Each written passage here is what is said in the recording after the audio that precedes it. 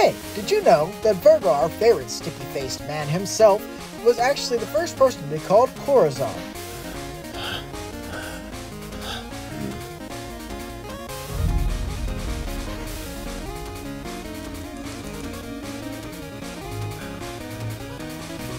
While he was undercover as a Marine, he was able to gain intel for his fellow pirates.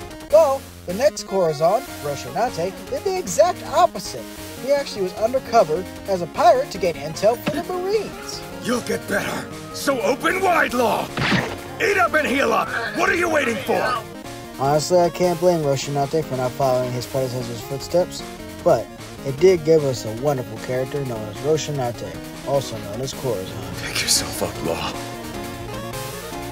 Go silently. Unseen. There's nothing to bind you down anymore. I love you, kid.